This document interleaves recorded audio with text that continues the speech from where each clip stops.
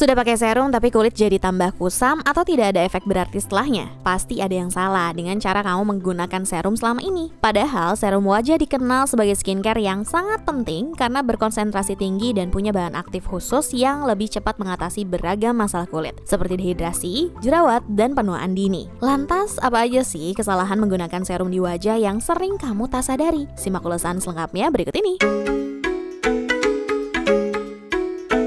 Apakah kamu salah satu orang yang masih belum paham benar tentang urutan pemakaian skincare? Ingat ya beauties, skincare sebaiknya dipakai dari yang paling ringan teksturnya ke yang paling berat. Jadi gunakanlah serum setelah kamu mencuci muka, memakai toner, dan menggunakan essence. Lalu setelahnya, jangan lupa gunakan pelembab. Jangan sampai kebalik ya, karena menurut Dr. Mike Bell, penasehat ilmiah perawatan kulit untuk Boots UK, jika kamu memilih lapisan pelembab di kulit dan kemudian baru menambahkan serum, hal ini akan membuat serum jauh lebih sulit untuk masuk ke dalam kulit. SPF dan bahan lainnya yang ada di produk pelembab akan melapisi kulit dan bisa menjadi penghambat penyerapan serum hingga 33%. Kalau kamu salah dalam urutan ini, serum dan skincare lain yang kamu pakai akan terasa nggak nyaman di kulit, sehingga hasilnya nggak sesuai klaim produk atau kurang maksimal akibat ulahmu sendiri.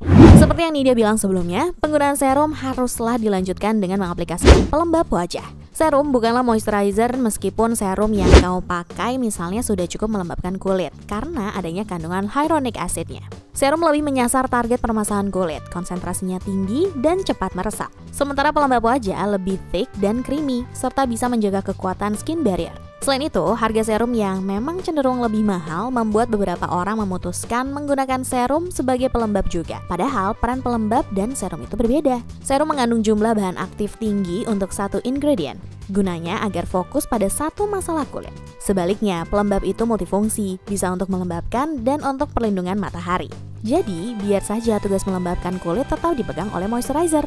Menggunakan serum sebagai pelembab artinya kamu akan kehilangan efek melembabkan dan perlindungan terhadap sinar matahari yang diberikan oleh produk pelembab wajah sesungguhnya. Buat yang penasaran dengan kesalahan penggunaan serum berikutnya, jangan lupa klik tombol like, comment, share, dan subscribe Facebook Beauty Channel. Next, pakailah serum sesuai kebutuhan. Jangan sampai kurang ataupun berlebihan. Jangan karena sebuah produk serum menghabiskan uangmu lebih banyak dibandingkan skincare lainnya, akhirnya kamu jadi memakai serum terlalu irit yang ada nantinya justru nggak akan kelihatan efeknya loh.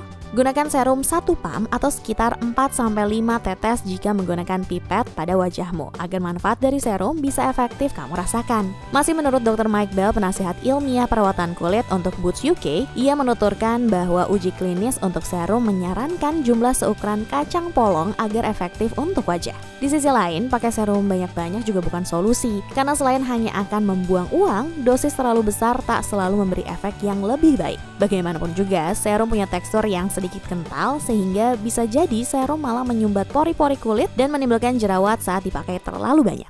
Konsisten adalah kunci, begitu pula dengan penggunaan serum. Salah satu kesalahan yang sering kamu lakukan adalah tidak rutin memakai serum. Kalau masih berkaitan karena harga, lebih baik kamu membeli serum yang affordable tapi selalu dipakai rutin dengan jumlah yang tepat dibandingkan beli serum mahal tapi hanya dipakai sedikit-sedikit dan jarang. Kalau nggak teratur pakainya, bagaimana kamu bisa lihat hasilnya? Serum merupakan bagian dari perawatan kulit harian, tidak seperti masker atau krim jerawat.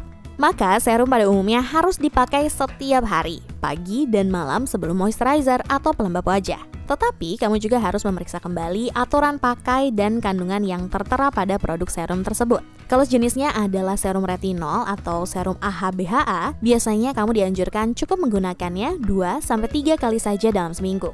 Intinya, pastikan kamu menggunakannya sesuai aturan ya Beauties. Kalau seharusnya 2-3 kali seminggu, tapi kamu hanya menggunakan sebulan dua kali, atau seharusnya dua kali sehari, tapi kamu hanya pakai 2-3 kali seminggu, jangan heran kalau tidak akan ada perubahan di wajahmu. Kalau tekun menggunakan skincare yang kandungan dan formulanya sesuai dengan kondisi kulit kamu, dia yakin deh, serum yang kamu punya bikin kulitmu bisa jadi lebih baik, lebih sehat, dan glowing tentunya.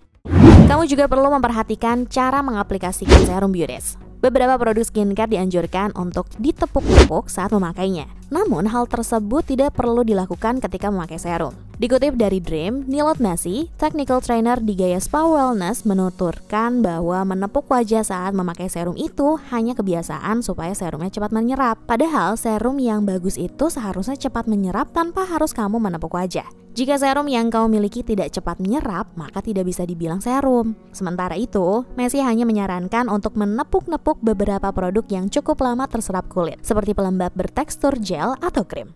Terakhir, kesalahan yang sering ditemui dalam menggunakan serum adalah keliru memilih produk serum itu sendiri. Maksudnya ialah pilih serum dengan kandungan-kandungan yang memang dibutuhkan oleh kulitmu, supaya lebih sesuai sasaran. Sebab pada dasarnya serum dibuat spesifik sesuai dengan kebutuhan kulit wajah kamu. Jangan asal memilih serum tanpa memahami kandungannya atau mendalami fungsinya ya Biris. Baca terlebih dahulu labelnya, komposisinya, dan cari reviewnya sebelum membeli. Contohnya nih, kalau kamu menginginkan warna kulit yang lebih cerah dan glowing, bisa pilih serum yang diperkaya kandungan niacinamide, licorice extract, AHA-BHA, atau vitamin C.